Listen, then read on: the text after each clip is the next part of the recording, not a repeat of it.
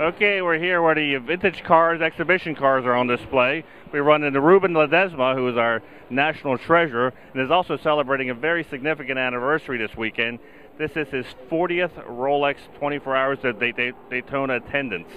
And uh, Ruben's going to give us a little insight of what it's been, what changes he's seen in 40 years, and how PCA has been a part of that. Hi, Manny.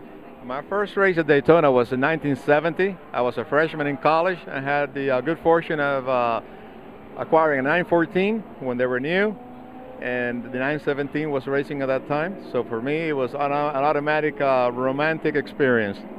The 917s, the Ferraris, the Alfa Romeos, the Matras, it was a golden age of racing, sports car racing. Uh, at that time, there was a PCA corral here at the track uh, the infrastructure you see today is not in existence. The crowd was large, but it was not really and truly. It was a, a local region from Jacksonville, Florida, Crown that had it, and they were very generous and hospitable. But the corral, of course, was done uh, with certain uh, restrictions on the track. As the years evolved, and we uh, visited the track more often, and later I became involved with PCA National. Uh, I had the good fortune of becoming a zone rep uh, about 10 years ago, and the, the, corral issue came up, and we developed the PCA Paddock at Daytona, which to this day still exists by the Ferris wheel. It is a very, uh, it's become a popular event. It is well attended, and the track has been very cooperative with us because of its success. And how many cars do you think we're going to be able to uh, fit into the corral this year, Porsches?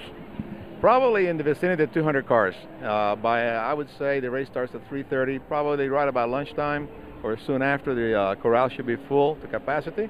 Uh, the way the corral operates, we have eight PCA regions uh, operating the corral on a shift basis. We have seven from Zone 12, which is Florida, and one from Zone 3, Peach State. Uh, and they have been involved with the corral since its inception 10 years ago. Uh, so I think it's a wonderful member, member benefit and it's a terrific opportunity for Porsche owners and PCA members to enjoy the uh, secure parking and the amenities the corral has provides for them.